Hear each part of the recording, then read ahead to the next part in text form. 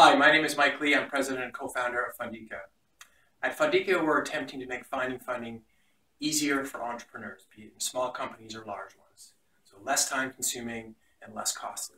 And how are we trying to do that? We're trying to do that by bringing everything together in one place, be it for tax credits, grants, loans, equity, bring it all together in one place. How are we bringing it together? We're using three different approaches. One of them is web crawlers and machine learning. The other one is having funders come in and update their information themselves. And the third one is having a data scientist team update that information. In terms of what the idea is, is to make this database uh, open, live, comprehensive, up-to-date, and easy to use.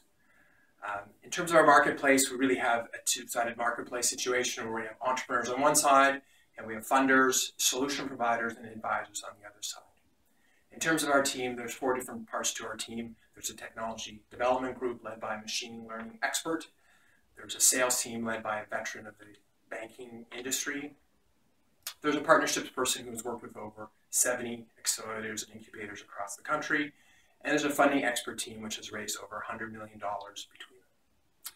In terms of traction, over the last uh, two years, we've won four awards. Uh, we now have thousands of users across Canada, and we have hundreds of thousands of dollars in revenue and lead generation.